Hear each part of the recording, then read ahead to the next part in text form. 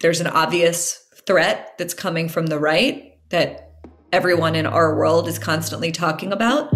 And there's another threat that's coming from the left that cloaks itself in language of justice and righteousness and morality.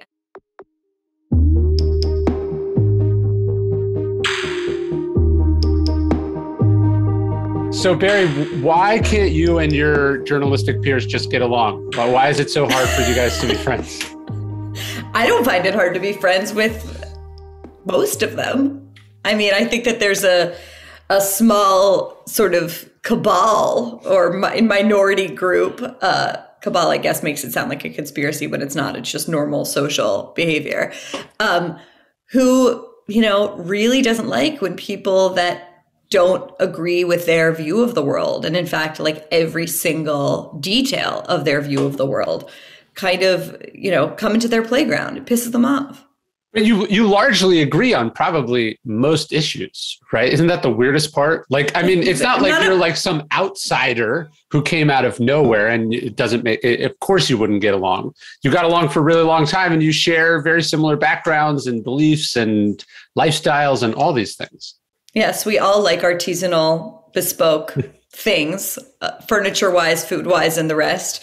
We we like a you know we like a restaurant with a good ambiance. Yeah we're all like you know middle class to upper middle class you know well educated and so on and so forth. That's all true. But i think it's a mistake to suggest that this is about like policy and whether or not we agree on abortion or we agree on gay marriage or we agree on criminal justice reform or legalizing marijuana or all the things that would come to mind that of course i agree with those people on i think what this is about, and I'm curious if you see it the same way, is about kind of like a like bedrock fundamental assumptions about the goodness or badness of liberalism is how I would describe it. Yeah, but I guess I, I think that's it. But but largely most of those issues that you agree with are downstream from a broad agreement on sort of Western values, I would feel. I don't know. I mean, it, ask the people that we're referring to in this sort of like weird, inchoate way do they believe that America is fundamentally a force for good? Do they believe fundamentally that America is, you know, is a country that has allowed for the thriving of, frankly, people like me and people like them in a way that few other countries in the world would allow for. I'm curious what they would say. I mean, to me, one of the things that was kind of like, I don't know what the right word here would be tone deaf, not self aware, shocking, is some of the arguments that I hadn't really heard since freshman year of college, which is to say, these just kind of like morally culturally relative arguments that all cultures are equally good that you know female genital mutilation is kind of just as good as not i'm only being like slightly hyperbolic sure. there all of a sudden i was like oh these people actually seem to believe that or at least they ape believing that yeah, it's it's weird though. Maybe part of the problem is these sort of mansion questions like is America a force for good in the world? Because it's complicated. Of course, America can be a force for good in the world and has also at other times been uh, a force that's not good in the world. If it, when America is doing what it should be, it is a force for good in the world. But that's not the discussion we're having. We end up sort of getting caught up in in what I might describe as sort of the narcissism of small difference. Like like instead of coming instead of talking about where we disagree on these little things, we end up sort of, uh, or yeah, like I, I would probably agree. Most people, I would probably think that most people agree that say uh, genital mutilation is bad, but we end up arguing with people who have nothing to do with that. We, we, you know what I mean? We end up arguing with our colleagues or coworkers on things that we uh, are in largely agreement with on most issues. Yeah, I mean, but but here's so there was an op-ed that was going around um, from the Times the other day about this woman who had built one of those like adorable little libraries Yeah. Did you see this op-ed? This is here. This is a sentence that was written in this piece in the New York Times by by a not just a random person, by a Times contributor. She she talks about how she built this library and she is trying to protect sort of black space. And she says, "What I resented was not the specific couple. It was their whiteness." and my feelings of helplessness at not knowing how to maintain the integrity of a black space that I had created. She also writes this um, of this couple. One morning, glancing out my window, I saw a young white couple stopped at the library. Instantly, I was flooded with emotions astonishment, then resentment, then astonishment at my resentment. It all converged into a silent scream in my head Get off my lawn. It didn't matter that I owned my house as many of my neighbors do.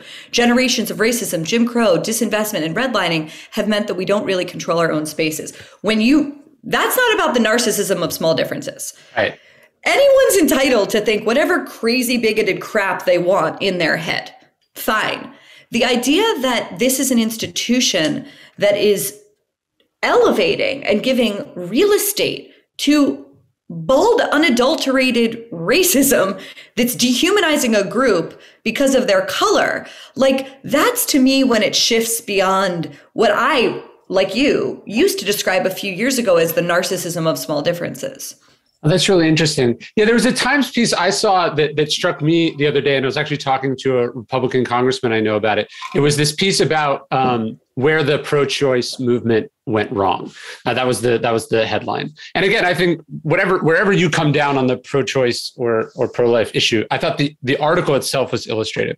Because basically, what happened is there was some conference call between a bunch of uh, uh, abortion activists uh, on the left.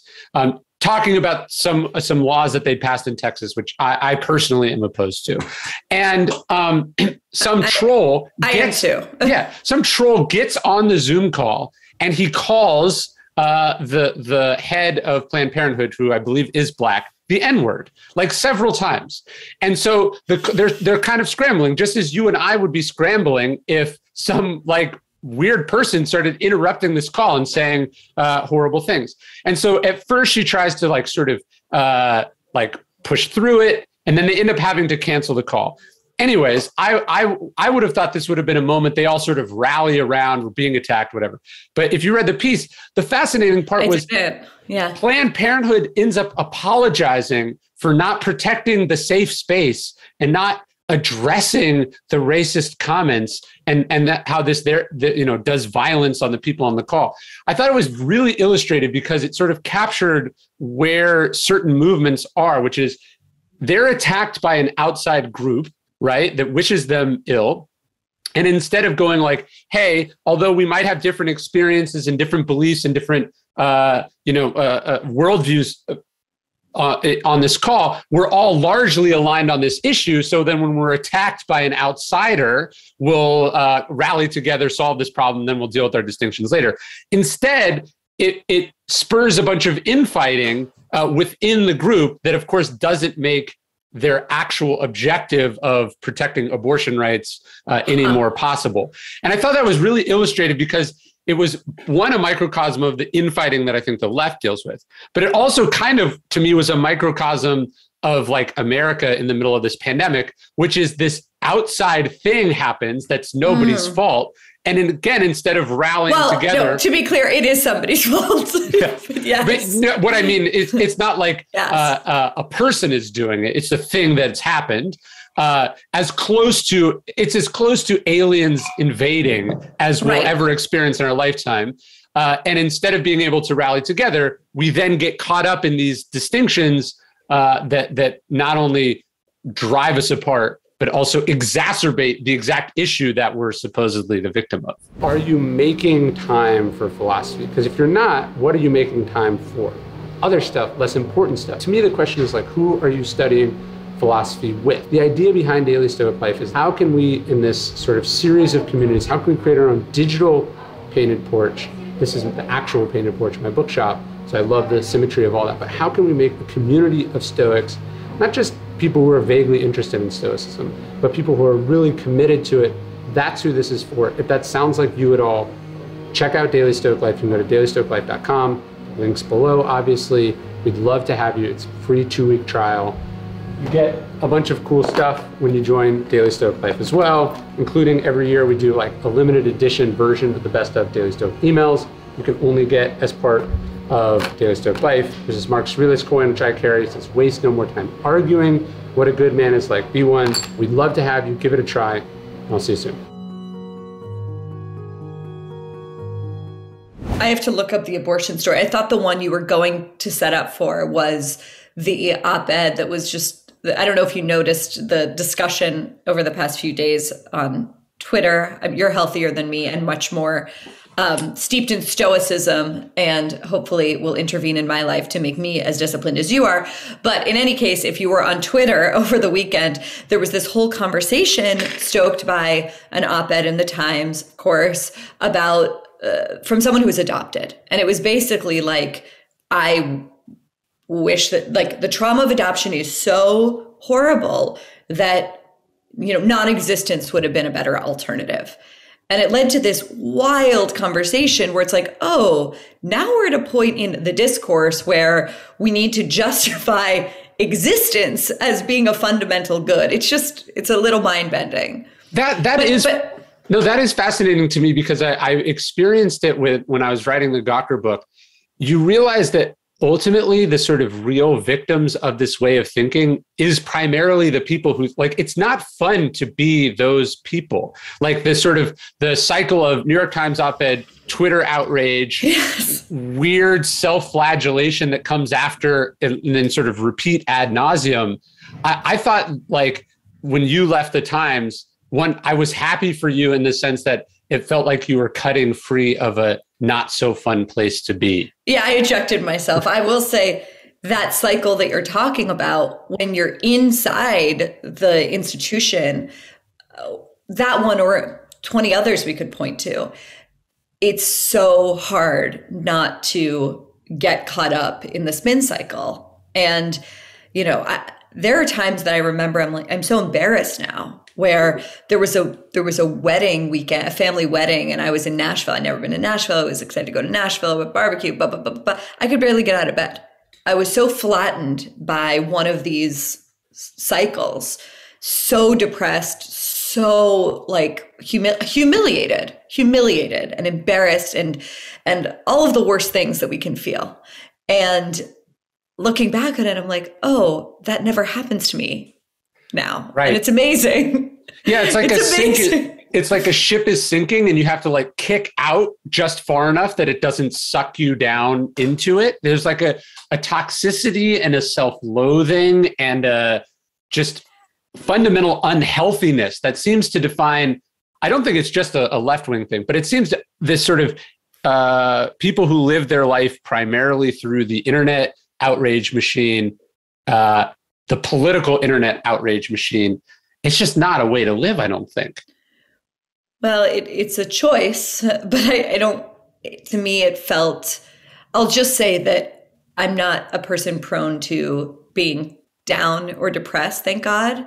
But when I think back over the kind of like, I don't know, the, the lows that I reached and the despondent feelings that I had, you know i i don't wish that on anyone it's not it's just so it's just such a such a time waste. It's such a waste of our time here not to sound too cheesy about it. No i think that's right. It's like uh sometimes i'll look at when i do go on twitter i'll look at like the amount of tweets that a person has sent and it's just like it is an interesting representation of how much time a specific person has spent shouting into a void of nothingness over things that they, there's no way they remember tweet 11,013, you know? Yeah. I mean, if there's any sort of silver lining, Nellie and I were just talking this morning about, you know, whether or not, like, how censorious Twitter is going to become under the new CEO. And I think it could be bad based on people that have already been kicked off in the past few days. Mike Solana had a great column about it for my newsletter. And I was like, well, maybe I would, you know, maybe I'll sort of, you know, find myself in in the maw of it. And maybe that will be a liberating thing for me. Not to say that I'm cheering, you know, censoriousness on that platform or any other, but you know, it's interesting to sort of like look at look at your life at a distance be like, wait, what would it be like if I just like wasn't allowed on Twitter? Well, I, I, was thinking about that. Like the the test, I think of addictions is often like, if it was invented today, would you use it? Right? Like if they invented alcohol today, we'd have a very different relationship with it than like the fact that it's sort of always been with us.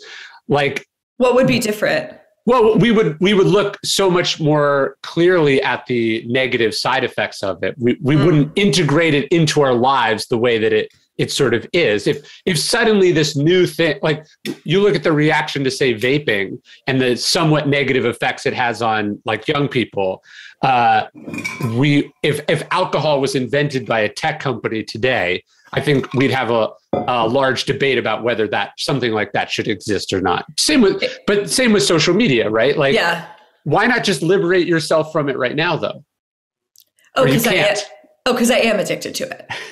Oh, a hundred percent. It's like a hit. It's like I'm like I've never done serious drugs. I've never had much interest because I guess I'm lame and also just scared of what it will do to my brain.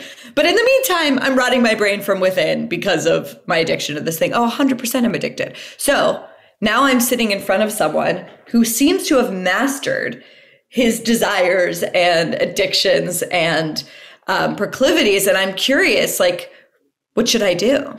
Well, I wouldn't say that I've mastered them at all. Uh, in fact, because I haven't mastered them, I have to have a lot of rules about like how I but use them. That's what I mean by mastered. Yeah. I mean like you've set up guardrails for yourself that seem to make you an exceptionally productive person. Well, I don't even know the login to most of the social media accounts. Like I, I just don't, I don't have access to them. For a long time, I would just, for instance, like on Instagram, um, it I just had it on my wife's phone, so I had to be like, "Can I have your phone for a minute?" uh, which which kept me honest in in more ways than one, I think. But the idea being that like uh, since I didn't have it in my pocket at all times, I couldn't get the hit whenever I wanted, uh, which was helpful. And then I think it's ultimately because it's not a real addiction in the way that like you know you would have to detox from heroin or something. It's mostly the habit formation. Like you sit down at your computer, what are the first tabs that you open, or when you pull up your phone, what are the first things you click? And so I think a big part of it is just creating just enough artificial friction or uh, boundaries that it's not instinctually what you do. Um, and then you realize, like, oh, my life is better and I get more done the less I use these things. Like, I never go on Twitter, especially at night, and feel like I'm so glad that I did that. I'm always, I'm always more unhappy. Ryan, um, I'm a fan, but I don't know enough about your personal history to know. Like, were you ever seriously enthralled to these platforms and needed to do that for yourself? To me, it's less the platforms and it's more just work in general, in which like the platforms are a form of work. I think that's what's so insidious about mm. the the those platforms is that we tell ourselves it's part of our job right? So it's like, I'm not just entertaining myself or arguing about politics. Like, this is my job as a writer or a thinker or a even like as an informed citizen, I have to do it. So I think for me, it was just like the incessant checking. Um, but one of the benefits of having kids is you like, you realize who you're stealing the time from in a mm-hmm. way that you would never, you would, you like, apparently I'll steal an unlimited amount of time from my wife I'll steal an unlimited amount of time for myself. But a five year old, I start to be like, oh, this is shitty. Like, this so, is mean. Okay, so this, so I was saying before we started recording that I read an essay of yours that I loved and I sent it to a bunch of people. And there was also a poem in it that I sent to a bunch of other people. Um, my like fancier friends who I was like, they just need the original poem that this is based on. And do you know what do you know what piece I'm referring to? Is this the work family scene? Scene. Yes. yes.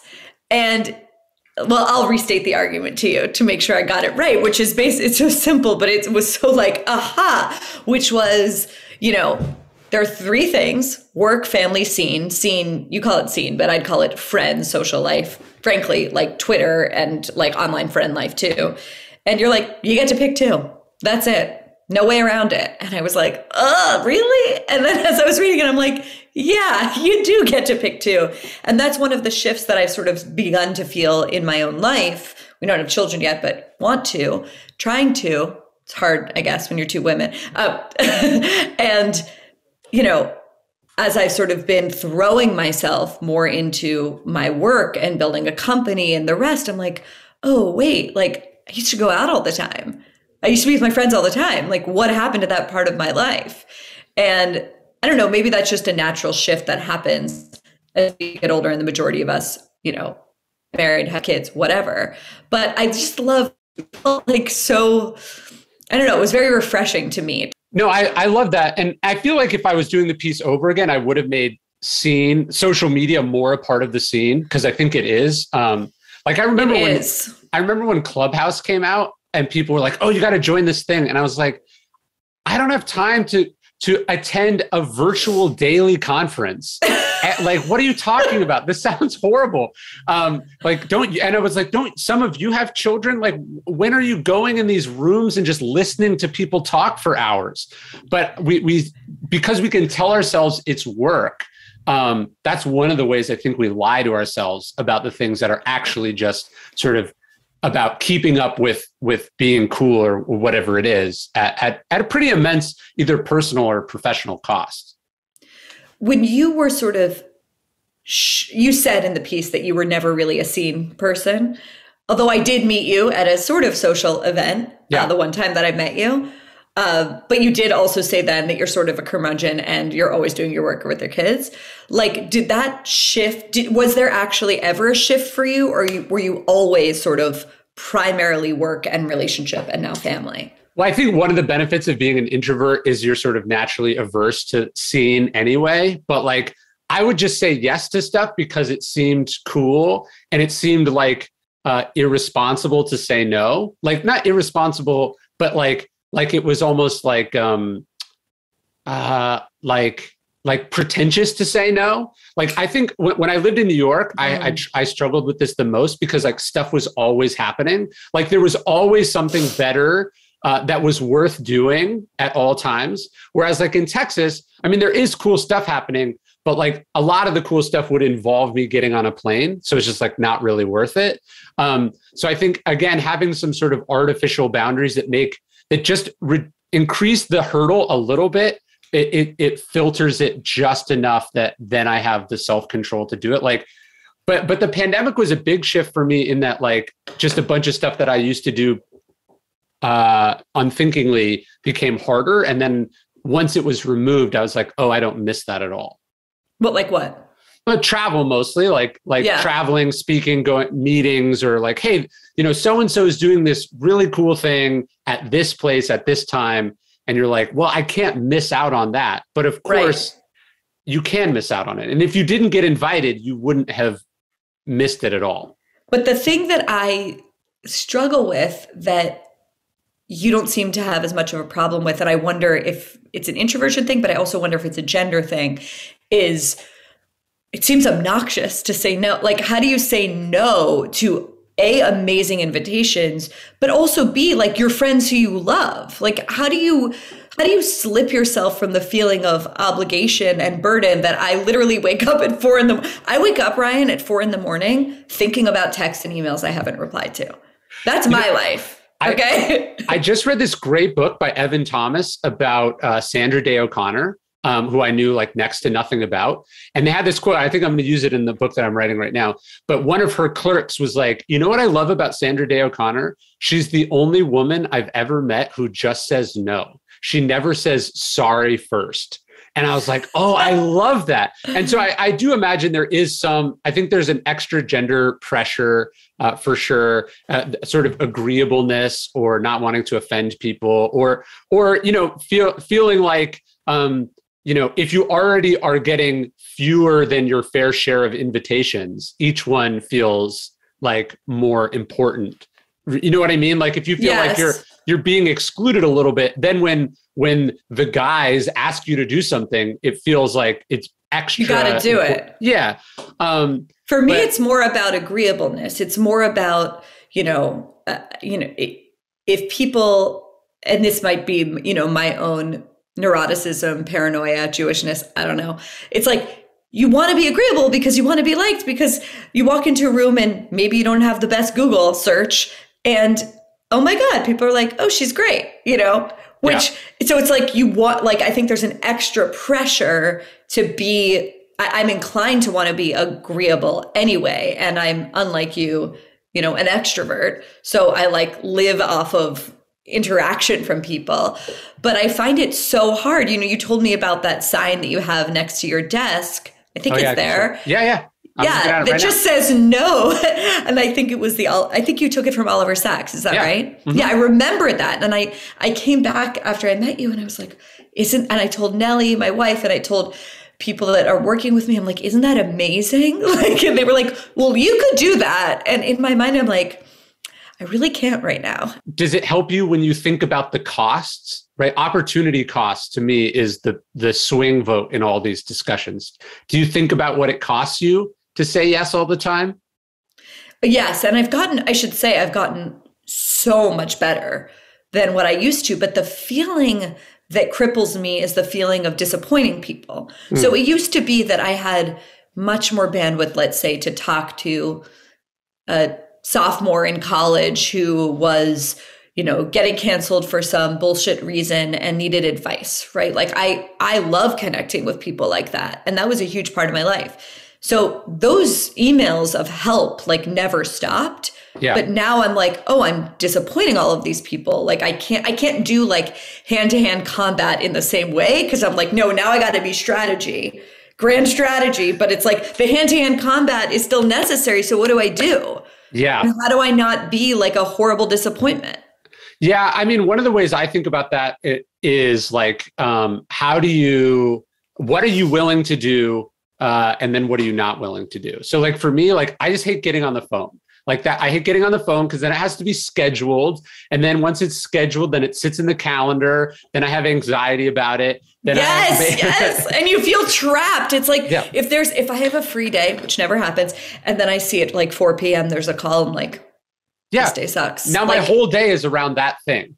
yes. Um, so so it's like, okay, I don't get on the phone, I don't schedule stuff, but like if you send me an email, I'll reply. And then it was like I used to write these big replies and it's like now I'll give you two sentences, right? So it's just like I'm not going to give you nothing, but here's here's what I'm able to give and then I think it comes down to some boundaries, you know? Um like and, and then being willing to be the bad guy when you enforce those boundaries.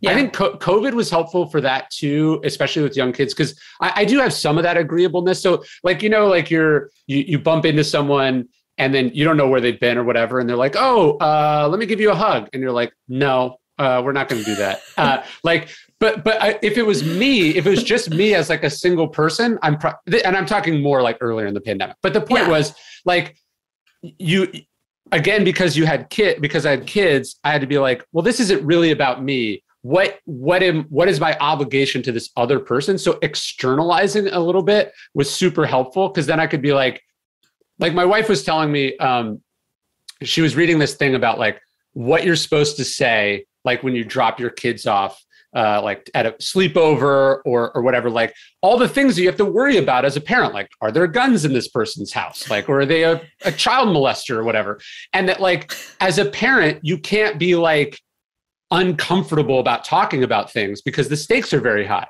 So you have to like go up to someone and be like, "Hey, do you have guns in your house?" Because and like, yo, are you gonna molest my kid? It's Yeah. just like a natural banter with the kid. Well, no, she was like, as you're dropping the kid off, as your kid off, you go, hey, by the way, if anyone touches you, you just like give me a head, you know, like you have to talk. But the point is, I- Of I'm- course. I'm, totally butchering this, but the point is being like a shameless parent about it, like Yes. not giving a crap about what other people think because the stakes of the issue are really high. To me, I think the pandemic and then becoming a parent's been really helpful. It's like, yeah, uh, you're asking me to do this thing that if if we actually fleshed out what an imposition it would be, you wouldn't ask. So I'm to have to like be clear about why I'm not doing this. And I'm just to have to enforce the boundaries. So it, it's just made me better at just sort of being upfront and straightforward. Um, and then not giving a shit about what people think, which is ironic for you because that's something I wanted to talk about. You clearly are not afraid to be disliked. I mean, this is like But- your but whole this is- personality. No, but that's what's so weird. You don't know me well enough to know that the idea that like I am somehow by nature a contrarian person or that I'm comfortable being dis I mean obviously I'm comfortable being disliked to some extent although it's really overstated like my life is mostly really lucky and blessed and warm and surrounded by people that do happen to like me. But I like being liked. Like I when I meet other people who maybe would fall into like a similar lane to me professionally or or like in terms of like perce- public perception i'm always like oh wow like we're so different. Like i really like getting along with people. I'm very uncomfortable i mean i think compared to most women i would say i'm more confrontational but like in the scheme of personality spectrum not at all well, I, and I didn't mean to say you're like an aggressive person who picks fights. I just mean like, no, if, no, no. If, if, something is true, you will write it down. Like you, you're you, yes. you you say what needs to be said in your writing. So it's it's ironic that then if like you have to say no and that's rude to someone, you're reluctant to do that, even though it's the same the, the same choice. Sort of. I think the thing that allows me to be able to say it in my writing or in a talk or or out loud in public is that I am super clear about the things that really matter to me and that I anchor my life around and frankly that I'd be willing to like sacrifice for. And I'm super clear that being popular as as wonderful as that seems is not as important to me as fighting for things that I really truly believe in and that I think are at stake right now. And so that is like in in that situation I'm like, "Oh, I know what the right choice is." It's a little different when I'm like, "Wait, I could be getting on the 10th call this week with a college student that needs me." If that makes sense. It, it makes total sense. I think what that is is an issue of identity. So your identity as a writer is a person who that your identity that it comes with certain obligations and duties and uh, a, a certain sort of authenticity and honesty but then often our identity as a person can be separate from that so you can be like sort of a fearless warrior in what you do and then someone can be more meek in their personal life but I, what's ironic here is that they're related to each other. Because if, if you appear on every podcast that asks you or you say yes to every you know request for counseling or help then you can't do the the, the thing. thing that you do. And and so when i i go like yeah i have to do it because it's like being a parent is important to me that's part of my identity or like being a writer is an important part of my identity and this thing is stealing from that thing. So i'm okay being the bad guy to protect this other thing. I need to get into that mentality. I really do. Like i'm building a company with my wife. That's pretty weird. Oh i didn't i didn't know that you guys were working together on that. Yeah. Th- yeah, this is we the, are. the media company. Yeah, like Nellie and I are working together now, which is great. We were just sitting the other day and being like, whoa, like, uh, could we have imagined, like, certainly not when we met five years ago, but a year ago, what our life would be? It's just, it's a, it like things have changed in a radical way. Do you guys lives. work well together or is it very challenging? I think we work extremely well together. I, you'd have to ask her, but we, we had friends over the other night and they were like, how are you doing this? And we're like, oh, knock on wood, it's like actually going extremely well. And I think the reason for that is we have very different identities as writers. Like Nellie's a stylist. Nellie is like, she's an incredible, like she, for her, part of the pleasure in it and part of the reason she became a writer and a journalist is like, she wants to like go to the spice market and like taste everything and then bring it to you. And for me, it's like, no, I became a writer because I believe in a certain set of things. Sure. And I want to like push those in the world and try and shift the culture. And so she gets to be the like, you know, the like fancy precious cupcake and I can like be the cake stand and I'm totally happy with that. It's I think the the other interesting shift for writers of which you're uh, uh, experimenting with and exploring is like the writer as their own boss and the sort of writer as entrepreneur. Like I think the Substack stuff is very interesting because um well, you kind of did it like before any of us. Yeah, my, my path has been a, a, little bit different and a little bit that way, but it's it, it, it's interesting to watch some of these people talk, and then people in journalism sort of talk about it from a very angry way.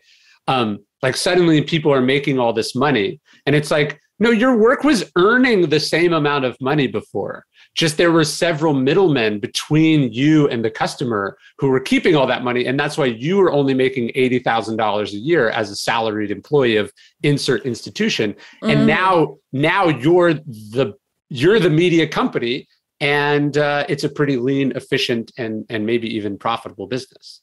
Yeah the challenge i think is that it, it's it unfairly rewards and maybe it's a, maybe fair is the wrong word but if you are an this model, right? It doesn't work for the people that make like the meat of like the protein of a place like the New York Times or the Washington Post or the Journal, which is like, you know, most pe- obviously like we're writers, we notice bylines, but most people who read the Times and they're reading about like the way that Apple's caving to the CCP in China, they're not noticing like oh, Jack Nicas wrote that wrote that story. Yeah. They're just like, oh, that's that's that's news that's important to me.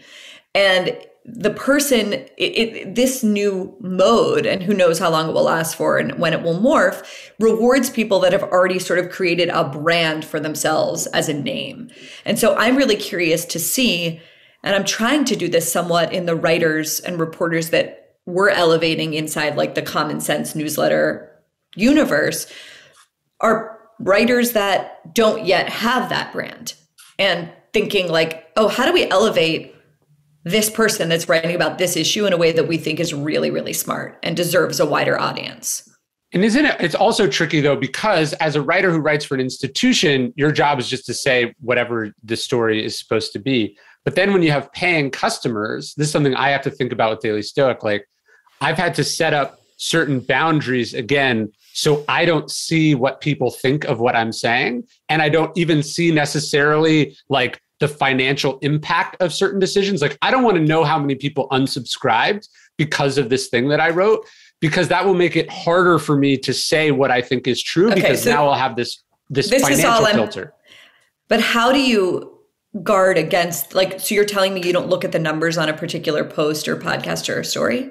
Yeah like I, I don't look at the day-to-day numbers and i don't look at the uh, the day-to-day responses like um, if people reply to a daily stoic email i don't want to see it because i don't want them i don't want to see them telling me that i'm awesome but i really don't want them telling me that they unsubscribed because I said insert political thing that I think is important, because then I'll be less likely to say that in the future because I'll be thinking about what it will cost me. You have to, I think, maintain some bubble yes. of purity.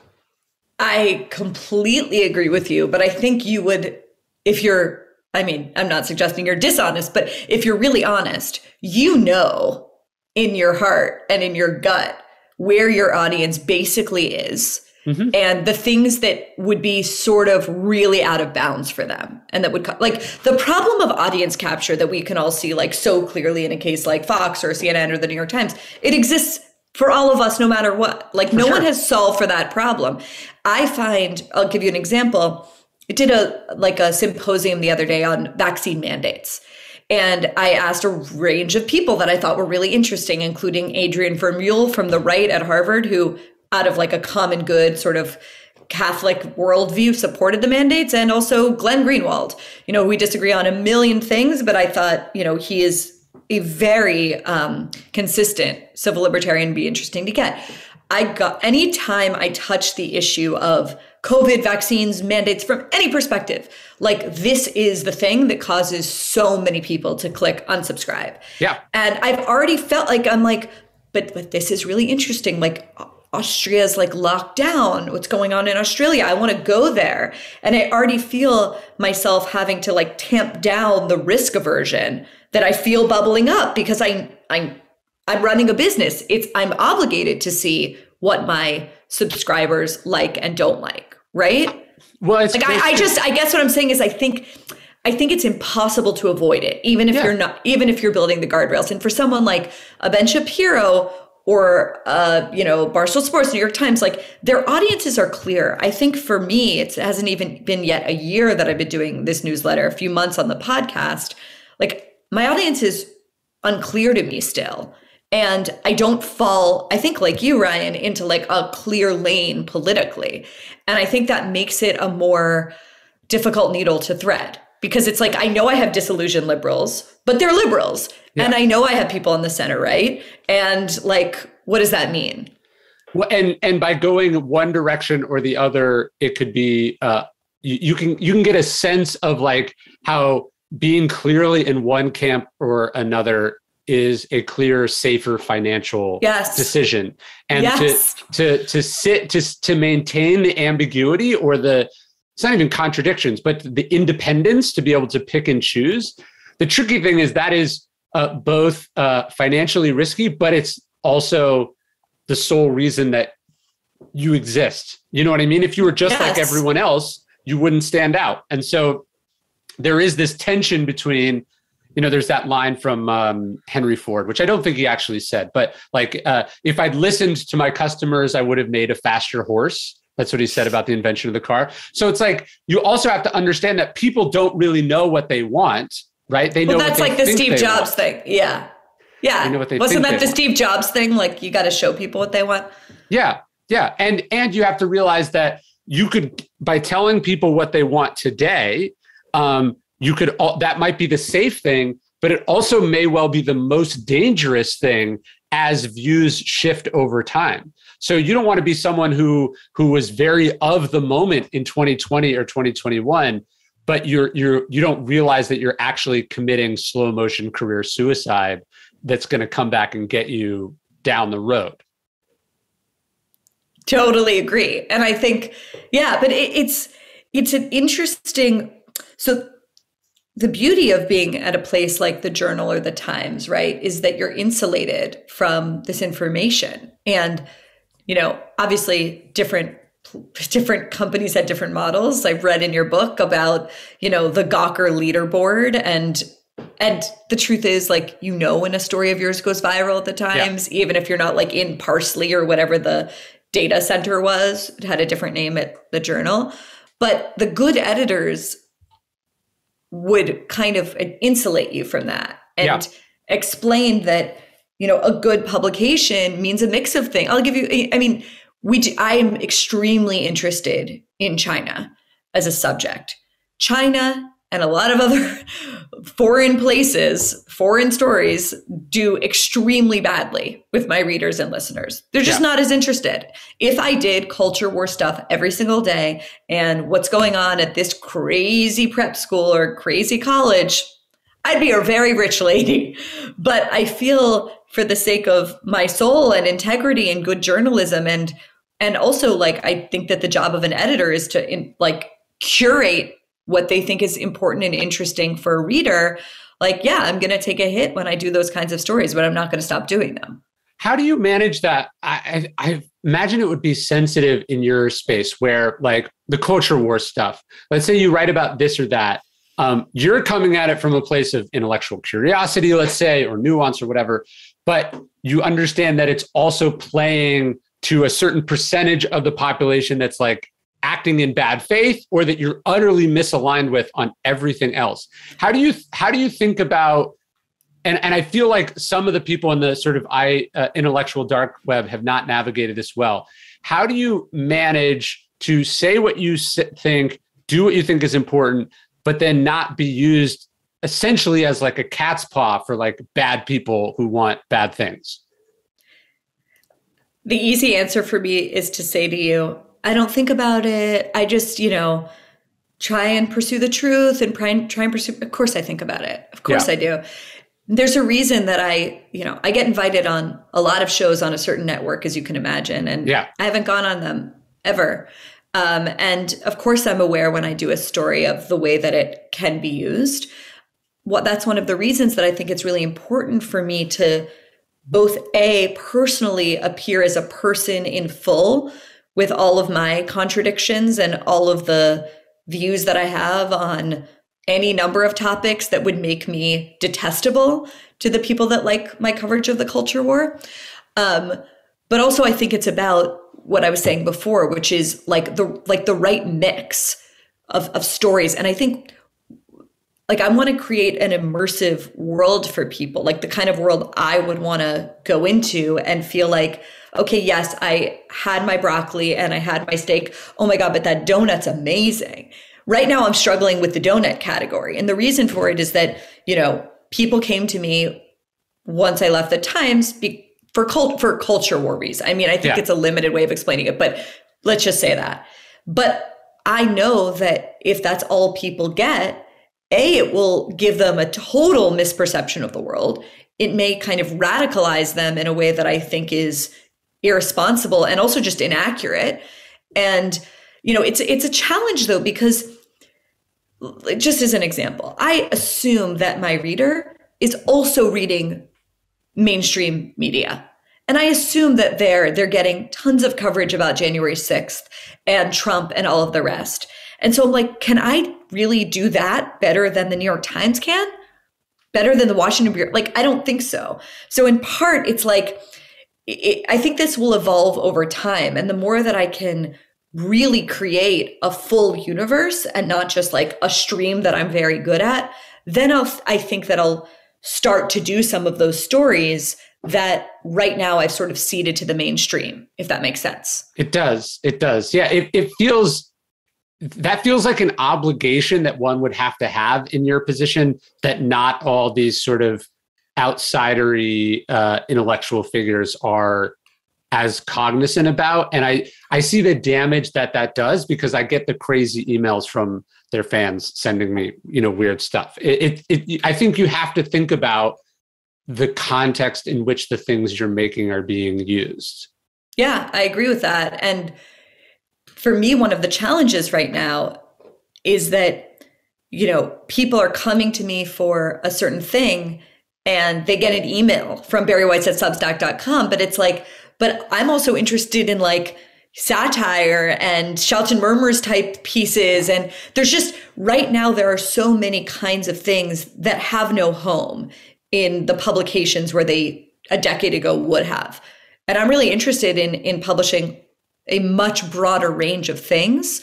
Um, but I feel like I need to almost like acclimate my audience to getting used to that. And that for me begins with publishing people sort of in in like pu- publishing independent free thinking heterodox people on a range of different subjects and that i think i've been able to do extremely well and i'm not sure there's anyone else on substack that's quite doing that yeah, the heterodox stuff is cool. Uh, one of the things Peter Thiel told me, and it's funny that you brought up that you don't see yourself as a contrarian. He said, like, it can't just be like putting a minus sign in front of like whatever the status quo is or whatever conventional wisdom is. I love that. Yeah. What there, there, there seems to be. It's almost like politics of spite on both sides, where they're like, "Oh, here's what so and so thinks," or "Here's what some people think."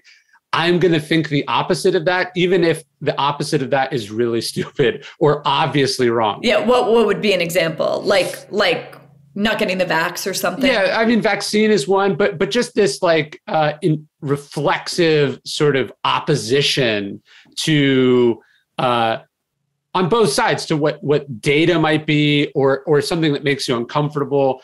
Like uh, it, it's it's it doesn't seem like a fun way to live, and it also I think can drive you to some pretty dark intellectual corners also. Yeah i also just don't think it's like generative. Like it's yes. it's it's very easy to be anti-woke and dunk on that all day long. Um, and to some extent i think it's important because i think that ideology has a tremendous amount of power. I really do. So i think it's important to expose it. But i also think there are other things China and the rise of China being one, AI being another. And there's so many things happening right now. We're living in like a really transformational moment. Um, and so, yeah, I, I, I know how to do that kind of story, the culture war story, so well, and I know how well that it does. Um, but I hope people that have been reading me and listening to me see that that's really not what I'm all about. And in fact, like on balance, it's just a, a slice of what I'm trying to do. Well, and some things are just kind of they they're pretty straightforward and simple. So it's like the Trump one is a good example where it's like, oh, maybe actually he's playing this like four dimensional chess and he's like a G. It's like he could also. He's probably just an asshole, dude. It's not like it's not that complicated. So the, well, I, the- I've been in the signal group where people are like, "Do you think he's running? What do you think he's met?" I'm like.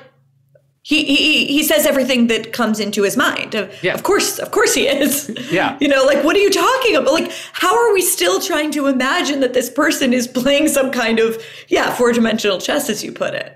yeah, you can end up overthinking yourself to a very stupid place.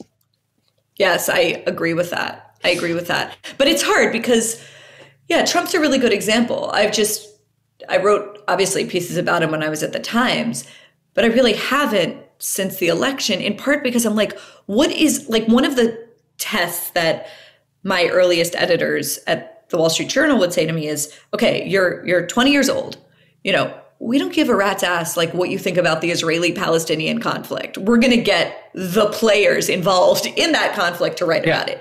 So, like, the test that they always gave me and that I give to young writers is like, what are the thing that what are the things that you are uniquely suited to write about? And I don't feel that I am uniquely suited to write about, you know, the threat of Trumpism when there's so many other people doing it. And I edited thousands of op eds about it.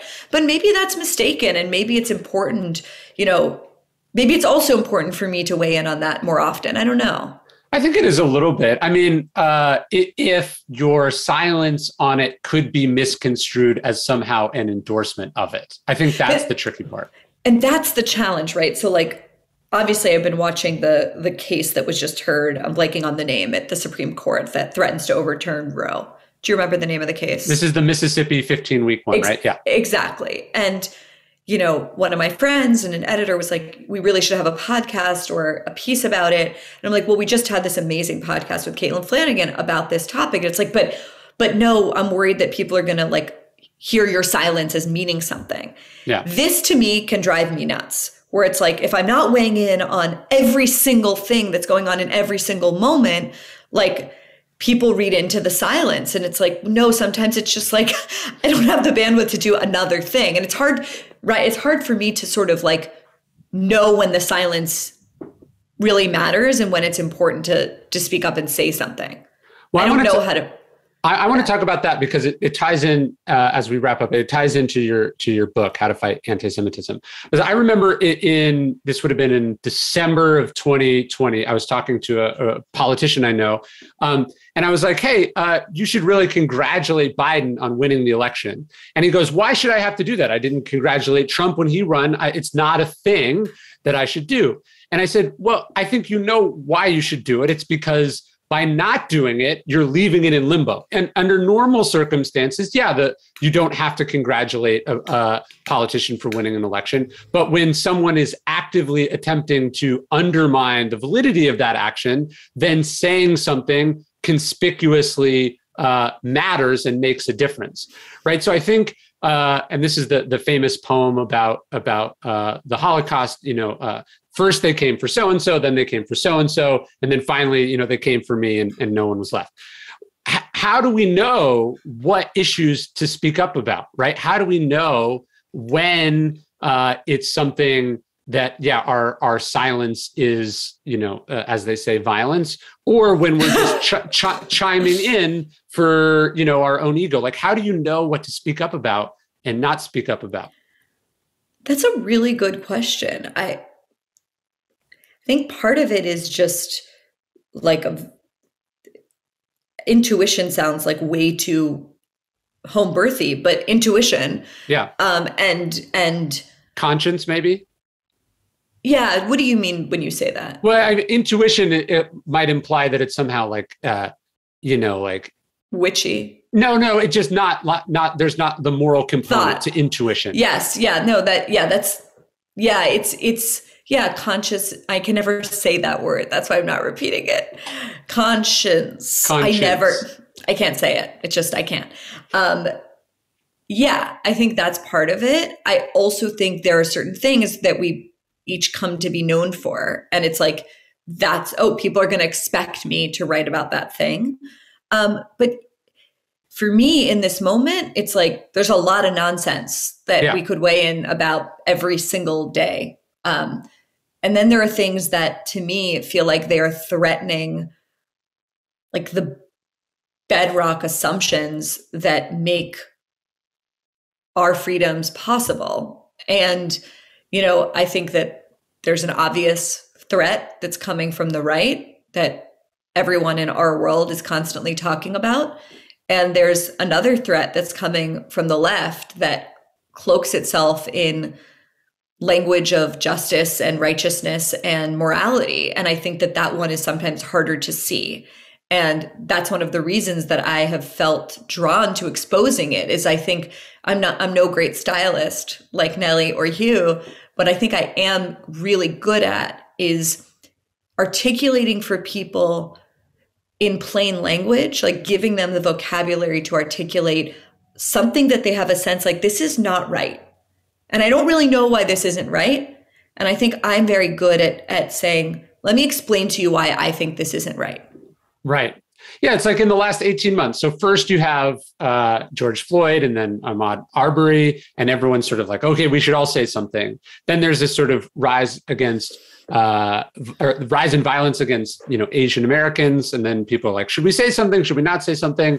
Then there's this sort of rise in anti-Semitic violence, and then people are like, should we say something? Should we not say something? And it's so it's it's interesting. It's like, what is our obligation, right? Like when when like you know when when is one obligated to speak up and say that's not right we don't do that that's not who we are and then when is someone supposed to go oh that's not my issue i think your arguments about anti-semitism have been interesting to me because there does seem to be a specific and uh, alarming sort of historical uh, relationality to anti-semitic violence where it's it's sort of like a it's the canary in the coal mine.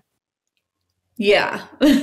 because and and this is me stealing a line from someone you should have on your podcast who's the amazing amazing Dara Horn. She has a new book out. Oh, you should hopefully this is in your bookstore. It's called People Love Dead Jews. Just won wow. some big awards. Jesus Christ. Yeah, it's a, it's a, it's a title you will not forget. She's a she's a Yiddish scholar, she's a novelist, she's an essay. I love her essays. And she has written so beautifully in this book and elsewhere about how, and I really think this is true, like where liberty thrives, Jews, th- like where Jews thrive, it's a sign that liberty thrives. Right. And the reason for that is like our ability in a majority Christian country, you know, to think differently, worship differently, have really weird rituals, um, like that's a sign that everyone has the ability to have sort of the dignity of difference. And when we are under siege, it is a sign that pluralism itself, um, liberalism itself, most broadly understood, is also under siege. Uh, going back to what you were saying before, though, I think we're living in a strange world where like corporations feel the need to speak out about like every single microaggression. Mm-hmm. And it's like if you don't speak out, it's violence. So we're we're in like this weird extreme version of that. But I think one thing that I have noticed, and maybe you have too, is that, you know, it's not a good sign when your care and outrage for a victim of a horrible crime or a rash of crimes is dependent on the identity of the victimizer. Sure. And that's sort of where I think we are. Is like the reason that it's really hard for people to let's let's say, you know, there's been an unbelievable rash of violence against Haredi, black hat, ultra orthodox Jews on the streets of Brooklyn, mostly carried out, or at least in some part carried out by young men of color. That's a hard one, right? Because it's like, wait, that group like doesn't believe in all the things I believe in and they're fundamentalist in all these ways. And so they are victimizing me, at least theoretically, or my identity group. And here's a group that, you know, historically has been the victim of systemic racism in the country. So it's like, I guess what I'm trying to push back against and what I'm trying to resist is to me what is fundamentally dehumanizing about the worst version of identity politics, which is seeing all of us as like avatars for our race or our, any kind of like immutable characteristics rather than human beings capable of making choices. And I think that people don't realize the extent to which that dehumanizing version of identity politics has taken over everything. Yeah, and like whataboutism is is obviously a dangerous thing, but it is it is weird to let's say the in, immense focus and attention that gets played to say like trans issues. Meanwhile, uh, sort of anti-Semitism is something that we don't want to talk about right like even though statistically those groups are you know of similar numbers globally like one gets a lot of attention and then the other is something that we seem not to want to make a big issue of even though as you said historically uh, one seems to be representative of uh, a trend an alarming trend that you want to nip in the bud yeah i actually have no idea how many like estimations of trans people there are worldwide. I think it's like one like Really? Yeah. Okay, I didn't know that. Um, yeah, I I think we can care about both things. Of course. But but, but I think that like the silence around I'll just say that like in I, I've thought a lot about this issue and the kind of outrage that poured out rightly after the attack on the synagogue in Pittsburgh where I became a bat mitzvah. White supremacist, neo Nazi walked in, killed 11 Jews. Most lethal attack in American Jewish history. And it was like, oh, this is morally clear. Like innocent people, look, not Orthodox Jews, conser- you know, look like us, sure. attacked by a vicious neo Nazi. We know, you know, and then when, you know, Black Hebrew Israelites, which, you know, they are not neither Hebrew nor Israelites, you know, uh, try and blow up but end up killing four people a kosher supermarket in Jersey City it's like no one remembers that. Why? Yeah is it is it uh is this a, is this us filtering it through the media? Is it just uh you know just the the, the random i don't want to say luck but just the random way a certain story unfolds no i think it- it's intentional i think why is it that you know Darrell Brooks, allegedly, I should add, in Waukesha, Wisconsin, gets in an SUV. He has a long history of horrible, hateful ideas all over social media, many of which have now since disappeared. He is a kind of avatar, um, a different identity online. And he gets in an SUV and drives through a Christmas parade and murders six people, including an eight year old boy and dancing grannies, and injures a ton of others. This was a news story for a day. Come on. Like, it's sort of impossible not to. And, and meantime, I mean, listen, yeah, I think that there's like so much horrible violence in America. You know, like not all of them are going to capture the national imagination. I'm personally obsessed with Ghislaine Maxwell. You may be obsessed with Jussie Smollett. You know, fair enough. But I do think that there is a clear pattern and it has to do with, you know, seeing people either you know, as somehow like less capable of evil and violence because of their identity. And I think that that's wrong. Well, and this is what I meant when we're sort of talking about what are our obligations. One of my favorite passages in, in meditations, Aurelius says, and you know, you can commit injustice by doing nothing also. So it's like one of the one of the first sort of indications we have that quote of like all that evil needs to prevail is for good people to do nothing. But like when there is so much happening in the world, and you as an individual seem so powerless. How does one know when they should speak up?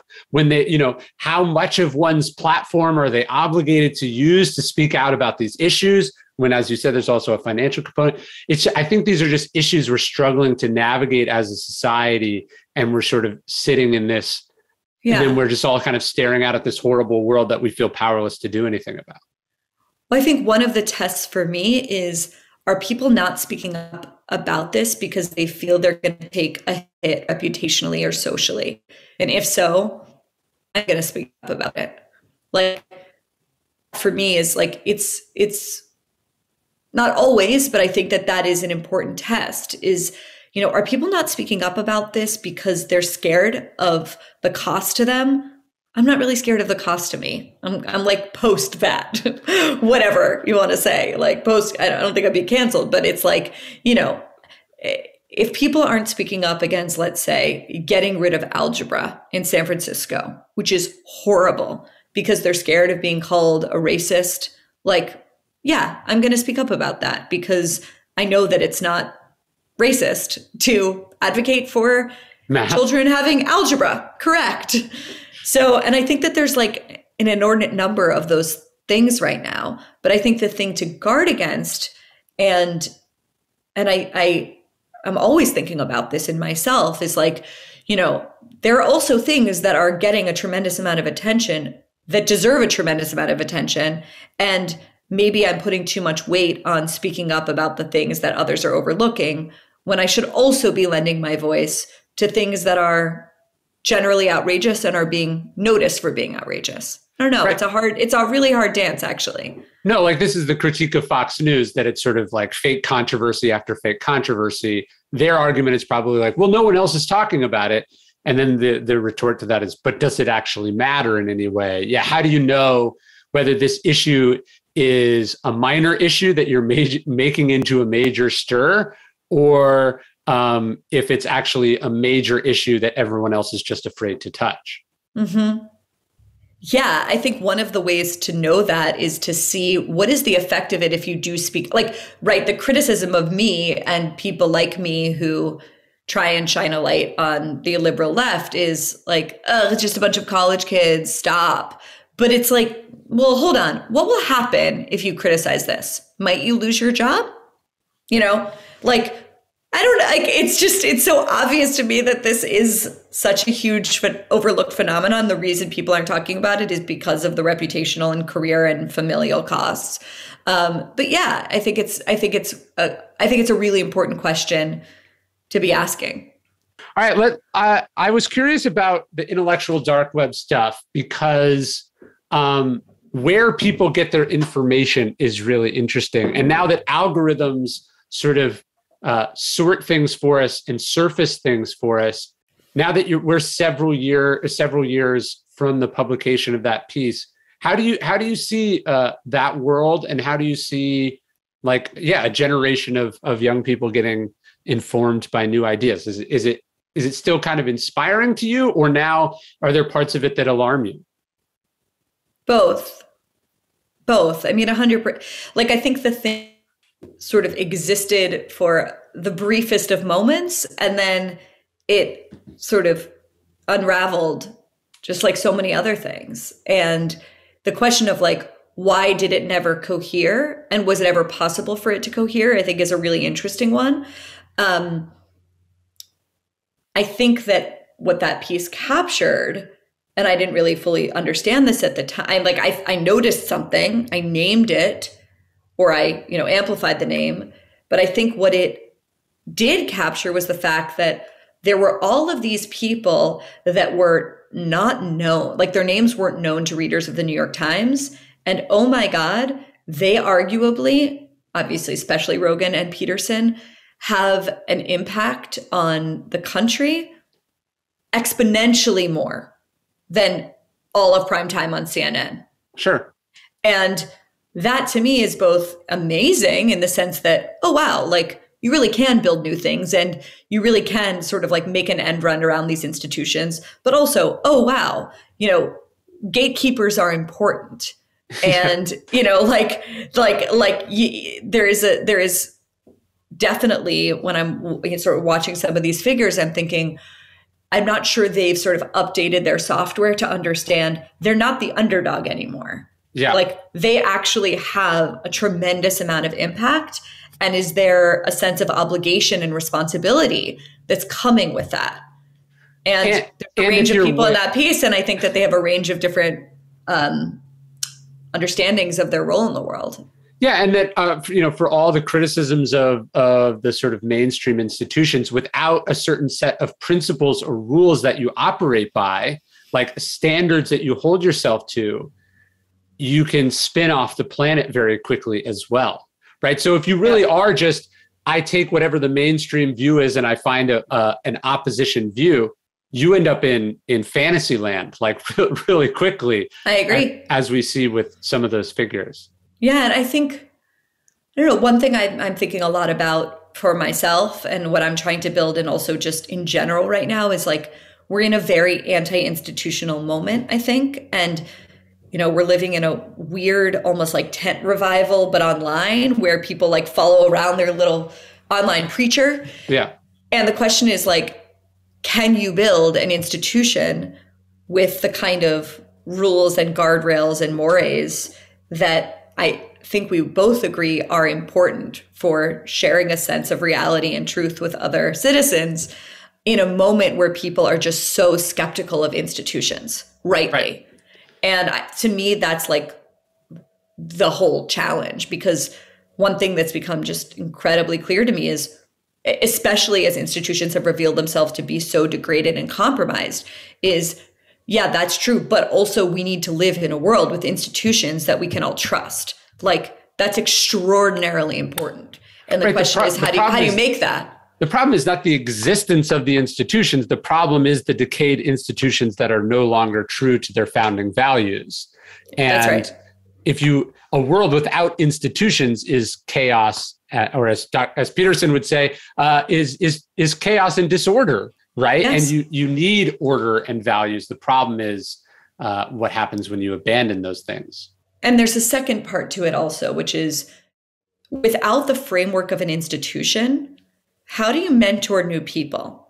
How do you how do you like replace yourself? And this is something that I am fixated on because if the whole show is you and your brand and your personality and your special charisma, like what happens when you burn out? Sure. What happens when you cash out or or any of it? Like so like what was all the work for? And I am like very because I think about my own life and the extent to which like everything was made sort of possible because of mentors and people that nurtured me and institutions that formed me and spent so many thankless hours teaching me how to edit an op-ed.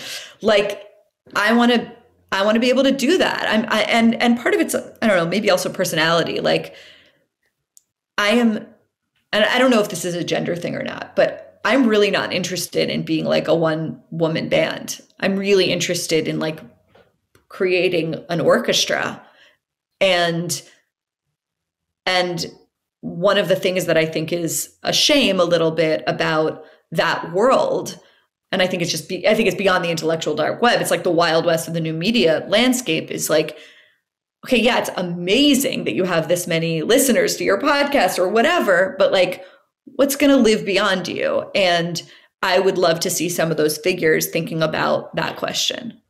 No, that's great. I think that's an awesome spot to stop. Uh, I always love talking to you, and this was amazing.